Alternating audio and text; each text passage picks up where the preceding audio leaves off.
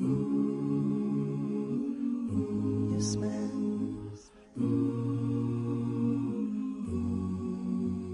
you ever wondered why you always reach for the same mug when you want to make a cup of coffee?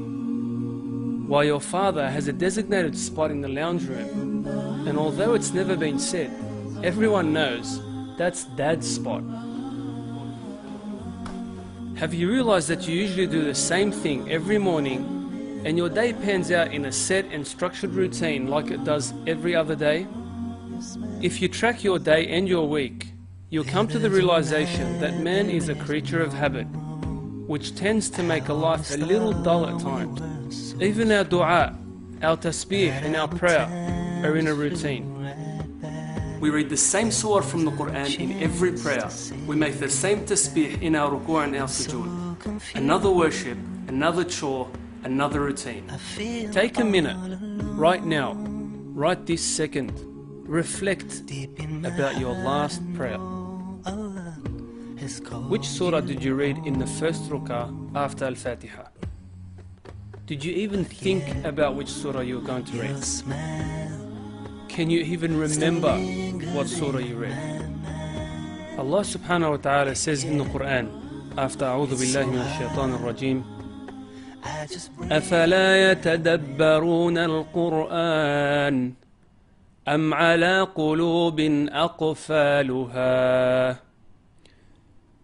Let's pose a question, shall we? When you make wudu, what is your intention? We posed this question to a sample of Muslims in Sydney. 58% said my intention is to make wudu. 42% said my intention when making wudu is to pray. They seem like the obvious choice, don't they? Imagine putting your mind out of the habitual routine of making wudu. Imagine making wudu with more than one intention. Increase your intentions for wudu by making the intention to prepare for prayer, to obey Allah subhanahu wa ta'ala and do what He has ordered you to do, to follow the sunnah of Muhammad wasallam, and also to wash away your sins. All of a sudden, you are conscious of your intentions, you have increased your rewards, you're in tune with your Creator, and out of the thoughtless routine. This is for wudu. How about the prayer? What's stopping us from being dynamic in our prayers?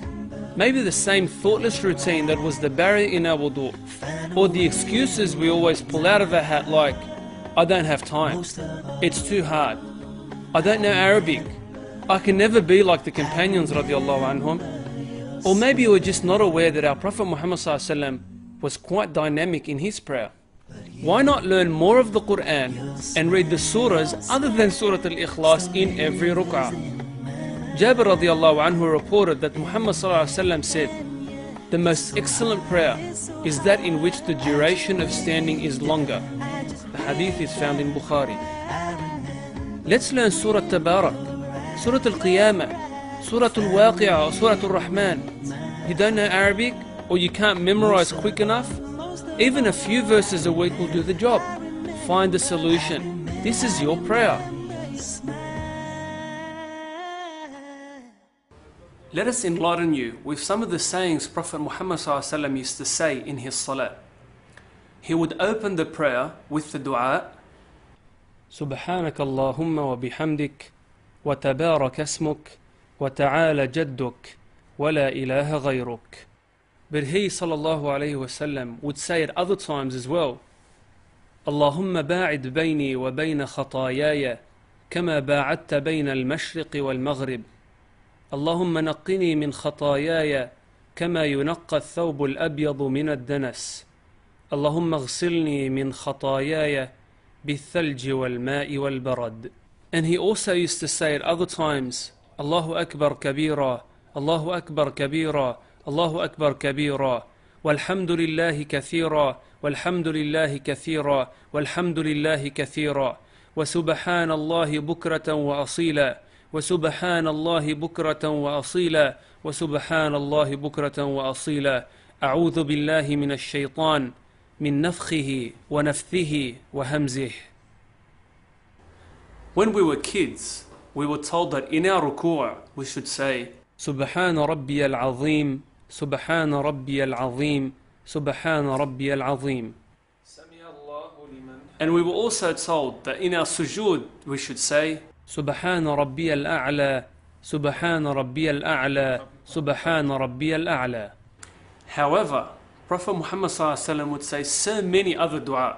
For example, in ruku' he would say, سبحانك اللهم ربنا وبحمدك اللهم اغفر لي and he would also say اللهم لك ركعت وبك آمنت ولك أسلمت خشع لك سمعي وبصري ومخي وعظمي وعصبي وما استقل به قدمي. And in sujood he would say, سبحان ربي الأعلى وبحمده. He would also say اللهم لك سجدت وبك آمنت ولك أسلمت. سجد وجهي للذي خلقه وصوره وشق سمعه وبصره. تبارك الله أحسن الخالقين. And he would say at other times اللهم أعوذ برضاك من سخطك وبمعافاتك من عقوبتك وأعوذ بك منك لا أحصي ثناء عليك أنت كما أثنيت على نفسك Let's strengthen our prayers. It's time to think. It's time to stimulate our minds and our hearts. It's time to keep our khushu' at every prayer on its toes. Let's not be predictable. Let's not be lazy. Let's get out of the routine.